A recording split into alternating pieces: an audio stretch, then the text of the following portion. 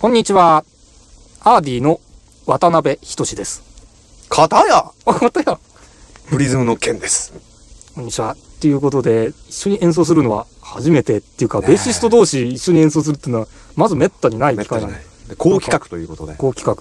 5弦対6弦5弦対6弦で、多ければ勝つかというそういう問題ではないんですけど。とにかく火花を散らしましょう。ええ、散らしましょう。それでは、ベースバトルということで、こうご期待、あわとがよろしいようで。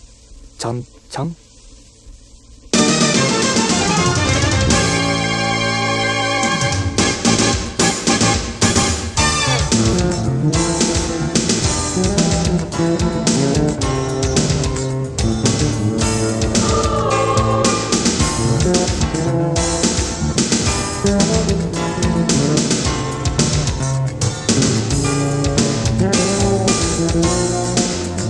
Thank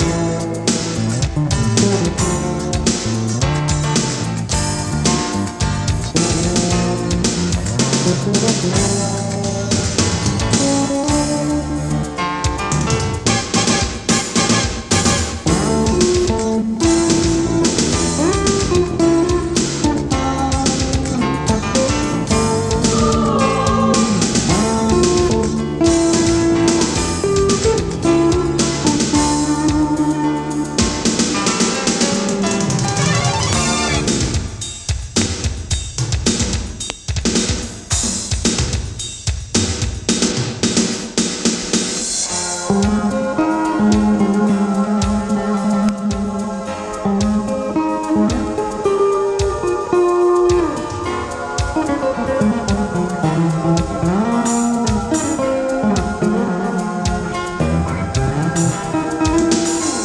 ハハハハ!